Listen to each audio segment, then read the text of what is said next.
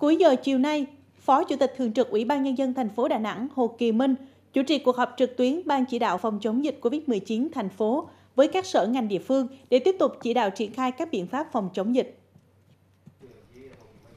Theo báo cáo tại cuộc họp, hôm nay ngày 24 tháng 6, Đà Nẵng ghi nhận 8 ca mắc mới COVID-19, trong đó có 5 trường hợp là F1 và 3 trường hợp liên quan đến khu Tam Giác tại quận Thanh Khê đã được cách ly y tế. Như vậy, từ ngày 18 tháng 6 đến nay, thành phố đã ghi nhận tổng cộng 67 ca mắc COVID-19. Ngành y tế và các địa phương tiếp tục đẩy nhanh việc truy vết, đồng thời thực hiện hơn 1.300 mẫu xét nghiệm các trường hợp có liên quan đến các ca bệnh. Ngoài ra, thành phố cũng đã tiến hành xét nghiệm nhiều khu vực và các đối tượng khác với khoảng 3.600 mẫu xét nghiệm. Hôm nay, 18 người về từ vùng dịch cũng đã được cách ly y tế theo quy định. Các hành vi vi phạm quy định phòng chống dịch cũng đã được các địa phương tăng cường xử lý.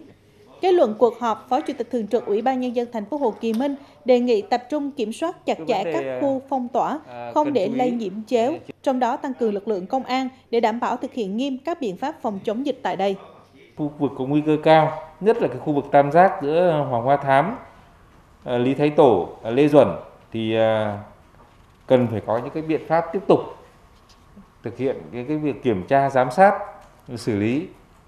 cái để đảm bảo cái việc không lây chéo lẫn nhau rồi từ các không lây dịch từ những khu vực này qua khu vực khác. Trong cái tổ giám sát kiểm tra đối với các khu vực phong tỏa cứng đấy thì à, sẽ có thành phần của công an sẽ tham gia cùng. Phó Chủ tịch Thường trực Ủy ban Nhân dân thành phố Đà Nẵng cũng đề nghị các địa phương tiếp tục ra soát và có kế hoạch xét nghiệm sớm các đối tượng nguy cơ cao, đề nghị các sở ngành liên quan phối hợp để triển khai đảm bảo việc giao thương hàng hóa tại các chốt kiểm soát dịch bệnh. Huyện Hòa Vang phối hợp để sớm triển khai chốt kiểm soát trên tuyến cao tốc Đà Nẵng Quảng Ngãi. Các biện pháp phòng chống dịch tại các doanh nghiệp, nhất là trong các khu công nghiệp cần tăng cường hơn nữa.